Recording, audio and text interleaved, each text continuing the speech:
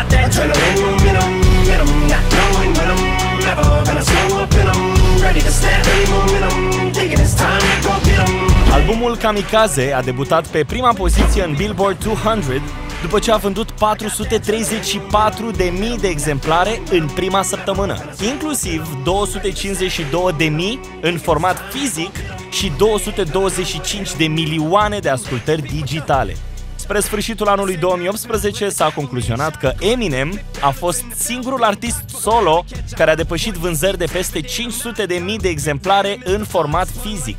Kamikaze este cel de-al doilea album al anului 2018 care a depășit 500 de mii de achiziții tradiționale cu puțin în urma coloanei sonore a filmului A Star Is Born.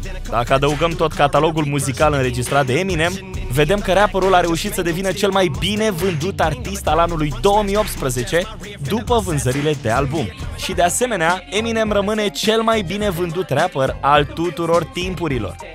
În categoria celor mai bine vânduți artiști în funcție de vânzările albumelor, Eminem a fost urmat de BTS, care a vândut 603.307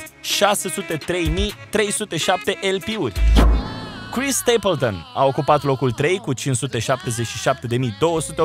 de exemplare, iar Metallica s-a poziționat pe locul 4 cu 539.861 de LP-uri vândute.